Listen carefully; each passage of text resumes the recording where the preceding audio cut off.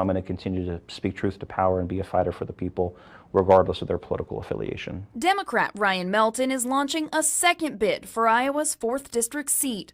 In 2022, Republican Congressman Randy Feenstra defeated Melton by nearly 40 percentage points. You ran for this seat before and lost to uh, Representative Randy Feenstra.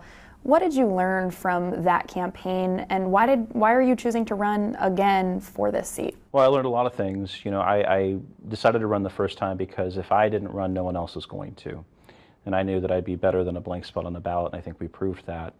Um, but we learned a lot of things. I mean, number one, through a lot of trial and error, you find out on a shoestring budget how to reach as many people as you possibly can. Election analysts say Melton faces an uphill battle.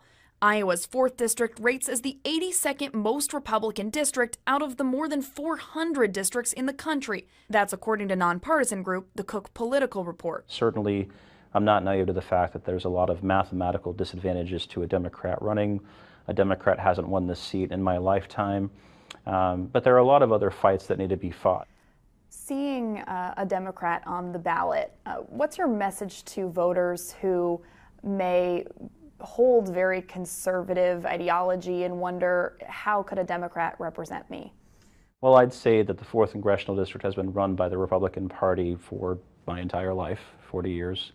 Uh, and what we're seeing is is a backsliding on quality of life indicators across the board. Melton points to population decline in rural northwest Iowa, a lack of OBGYN and mental health care, and low public education rankings compared to other states. People are looking for a candidate they can trust, a candidate who doesn't use someone else's talking points, a candidate who's real, who does their own research, who reaches out to people, is willing to talk to anyone and everyone um, and who knows that when they look at their FEC filings, they're not going to be owned by corporate America.